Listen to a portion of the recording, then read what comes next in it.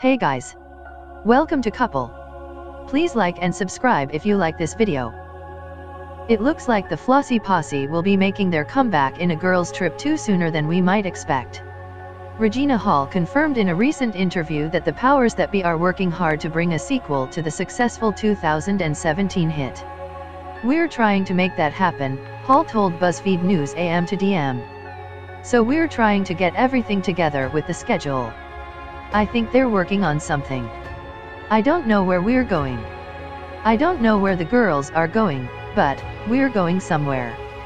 The Malcolm D. Lee film about a trip to Essence Fest starring Hall, Jada Pinkett Smith, Queen Latifah, and Tiffany Haddish had a $19 million budget and made $31 million in the first weekend.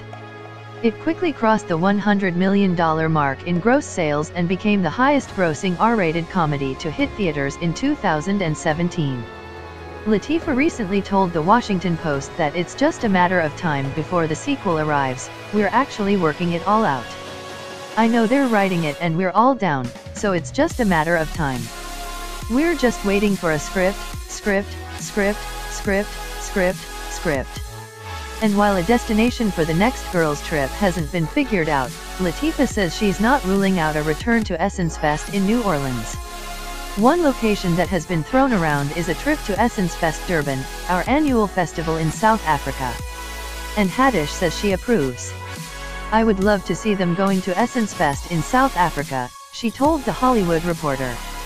And they got to South Africa thinking they are going to be around some Africans and then finding out that a lot of white people live there and being in complete shock. The hilarious comedian added that she could even see her character, Dina, finding love abroad with a twist, of course. Like Dina asking a potential B, you African. And she finds out how prejudiced she might actually be and grow from that and marry a white man. Or, a white African. I am just making that up, but I would like to do South Africa.